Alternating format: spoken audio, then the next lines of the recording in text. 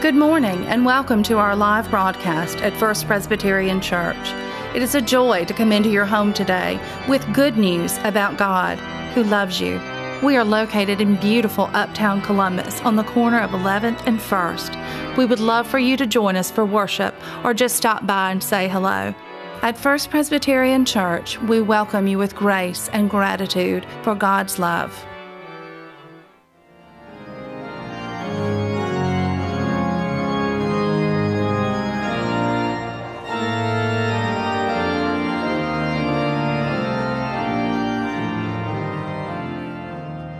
Ask those who are able to please stand. Our first lesson is Psalm 29. And listen now to the Word of God.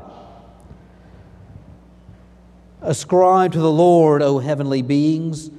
Ascribe to the Lord glory and strength. Ascribe to the Lord the glory of his name. Worship the Lord in holy splendor. The voice of the Lord is over the waters. The God of glory thunders. The Lord over mighty waters. The voice of the Lord is powerful. The voice of the Lord is full of majesty. The voice of the Lord breaks the cedars. The Lord breaks the cedars of Lebanon. He makes Lebanon skip like a calf and Sirion like a young wild ox. The voice of the Lord flashes forth flames of fire, and the voice of the Lord shakes the wilderness. The Lord shakes the wilderness of Kadesh. The voice of the Lord causes the oaks to whirl and strips the forest bare. And in his temple all say, Glory. The Lord sits enthroned over the flood. The Lord sits enthroned as king forever. May the Lord give strength to his people, and may the Lord bless his people with peace. And this is the word of the Lord. Thanks be to God. Please be seated. I invite you to stand as we hear the scripture. The re- second reading this morning is from Romans 8, verses 12 through 25. Let us listen that we may hear what the Lord is saying to us. So then, brothers and sisters, we are debtors, not to the flesh, to live according to the flesh. For if you live according to the flesh, you will die. But if by the Spirit you put to death the deeds of the body, you will live. For all who are led by the Spirit are children of God. For you did not receive a spirit of slavery to fall back into fear, but you have received a spirit of adoption. When we cry, Abba, Father, it is the very Spirit bearing witness. When our spirit that we with our spirit that we are children of God. And if children, then heirs, heirs of God and joint heirs with Christ. In fact, we suffer with him so that we also may be glorified with him. I consider that the sufferings of the present time are not worth comparing with the glory about to be revealed to us. For the for the creation waits with eager longing for the revealing of the children of God. For the creation was subject to futility, not of its own will, but by the will of the one who subjected it, in hope that the creation itself will be set free from its bondage and decay and will obtain the freedom of the glory of the children of God. We know that the whole creation has been groaning in labor pains until now and not only the creation, but we ourselves who have the first fruits of the spirits groan inwardly while we wait for adoption, the redemption of our bodies. For in hope we have been we were saved. Now hope that is seen is not hope, for who hopes for what is seen? But if we hope for what we do not see, we wait for it with patience. The word of the Lord. Please be seated.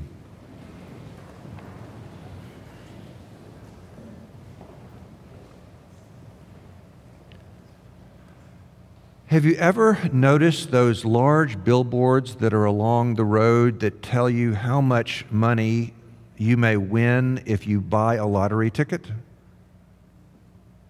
Come on, you've noticed them, right? And, and I will confess to you that every so often, when I see that, maybe more than every so often, I will play this little game in my head. I call it the How Would I Spend That Much Money game. And I wonder. But I must confess, this is not a game that came to me because I've seen lottery billboards. It's a, ca- a game that actually goes way back into my childhood.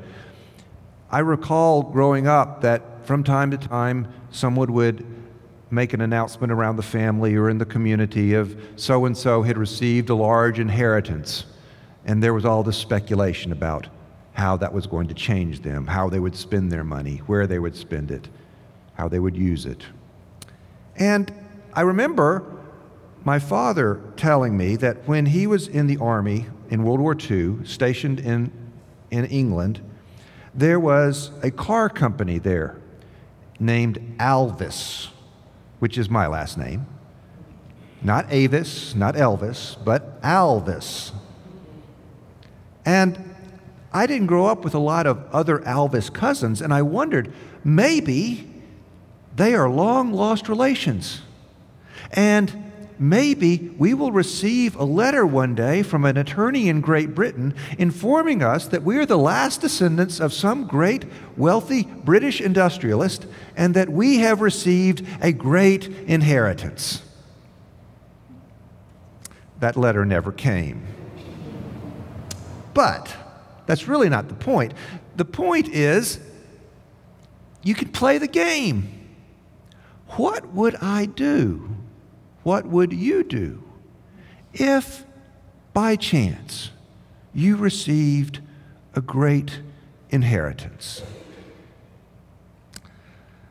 The book of the Romans in the New Testament is a treasure trove of faith. It has been used throughout the history of the church. Augustine contemplated it. Martin Luther and John Calvin worked with it. Karl Barth in the 20th century has, has uh, turned to it. It's a treasure trove. And today we delve into a little bit of that. Paul writes that to this group of early disciples in, in, in the city of Rome, and he tells them that faith in Jesus Christ is, in fact, an inheritance in the verses we read today, it says, We are made heirs with Christ. God chose the children of Israel to be the children of God. That's the story of the Old Testament. Yet it is possible to become a child of God through Jesus Christ, heirs of God and joint heirs with Christ, as verse 17 reads. The Christians in Rome were not born necessarily into being the children of God. They were adopted. That word is used. They were brought to the table, brought into the family by an affirmative act of God to share God's love and God's grace and God's mercy with them.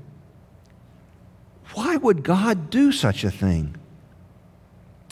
In the days of Paul, there was a great division in the church over who could be a follower of Jesus or who could be a disciple of Jesus. Did you have to become a Jew first to become a disciple of Jesus? Paul argued that you did not. But the whole framework of the Messiah comes from the Hebrew Scriptures, comes from the Old Testament.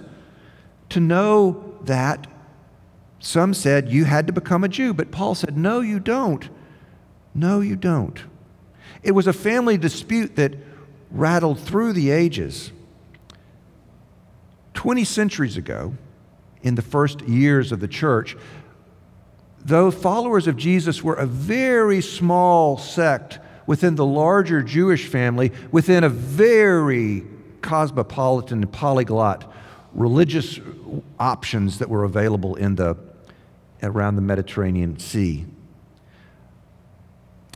But today, things are very different. And we may hear that differently. But one thing that hasn't changed over those 20 centuries is our belief as Christians, our belief as Presbyterians, our affirmation that God is in charge, that God is our creator, and that God set in world set in order the world that we live in, and that we can trust God in that way. God chooses to bring into the family through Jesus Christ those who might not otherwise have been there. God has adopted us.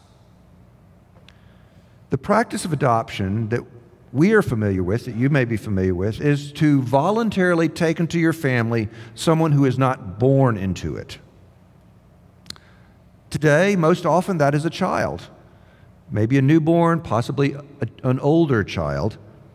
The reasons usually involve, often involve, some sort of instability in the household of the child with the birth parents or the family that, from which they arrive.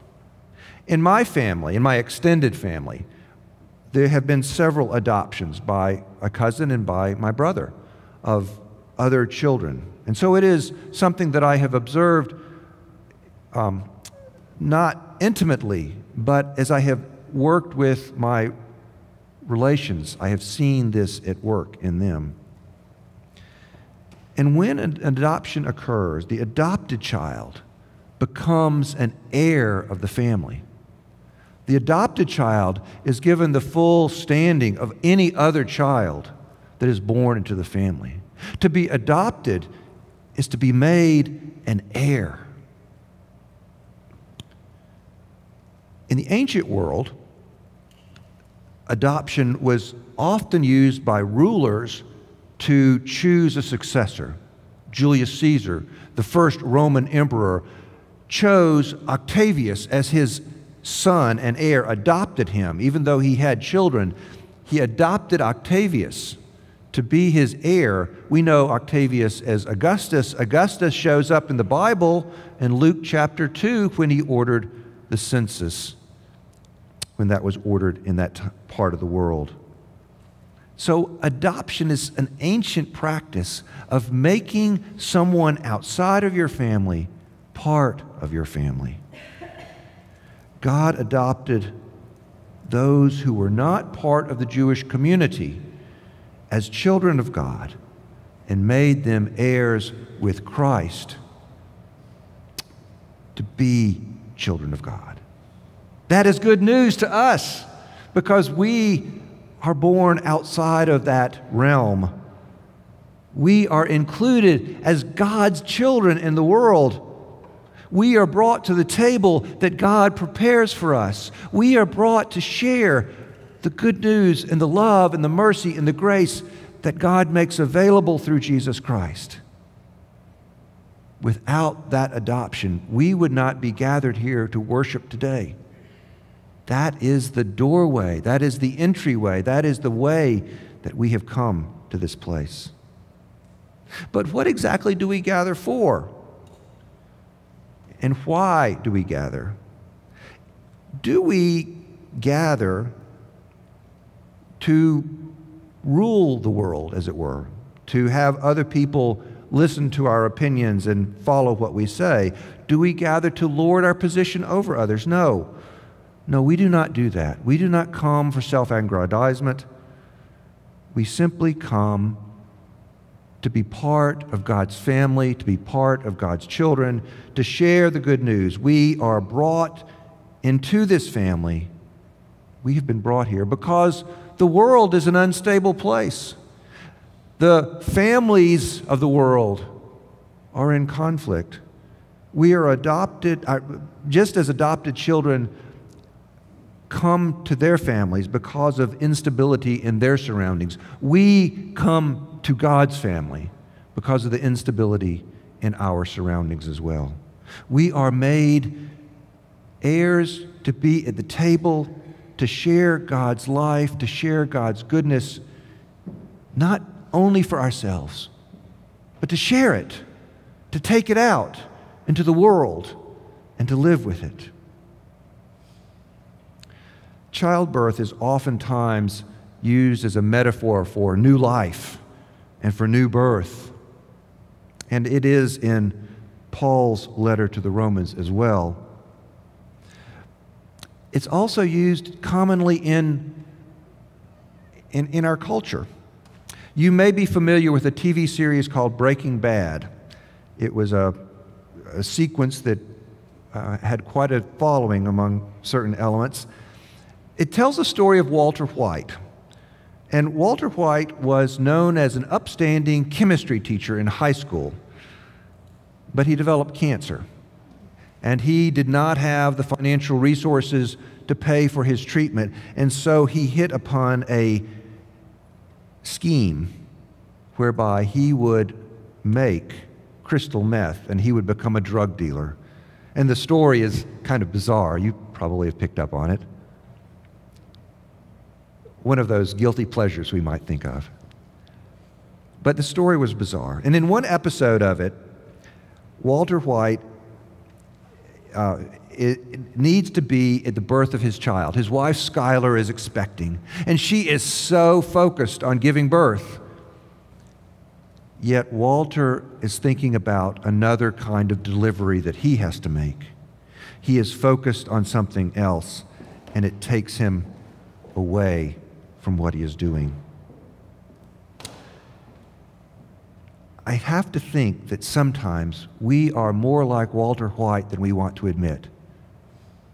I hope and pray we are not involved in illegal drug deals. But we can focus our attention on other things that draw us away from the delivery of God's love and life and joy and grace and mercy in the world. We can become fixated on our own satisfaction or finding comfort in the world, or making our way in the world so that we don't have to worry about any of the details.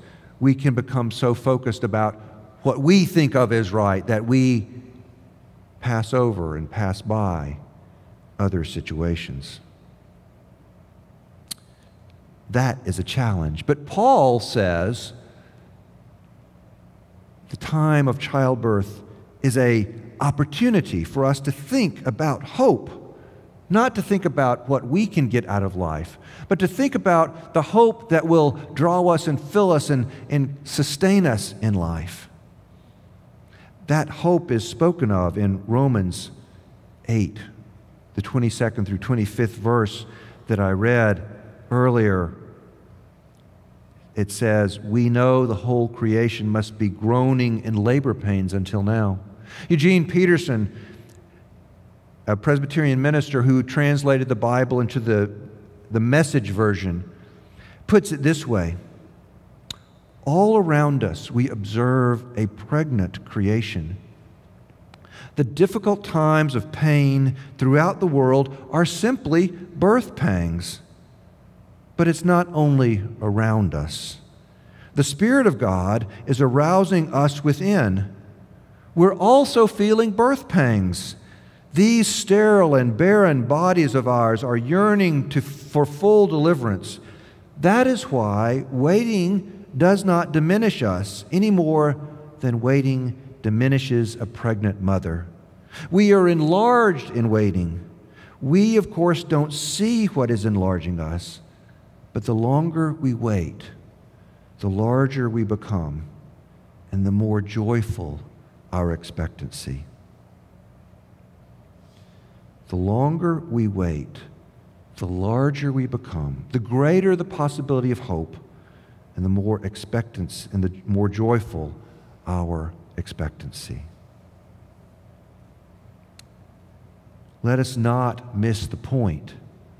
Let us hold on to the joy and the possibility of that hope. So, two points will summarize our time today.